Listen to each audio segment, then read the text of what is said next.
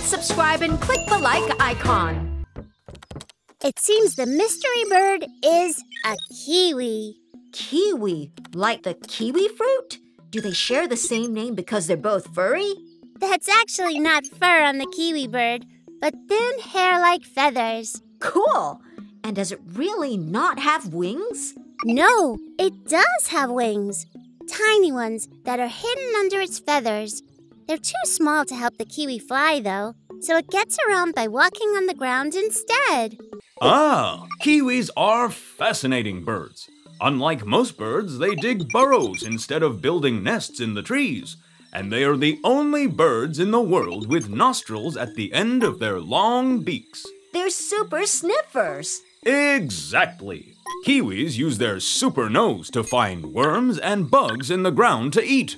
They like eating seeds and grubs too. Hit subscribe and click the like icon.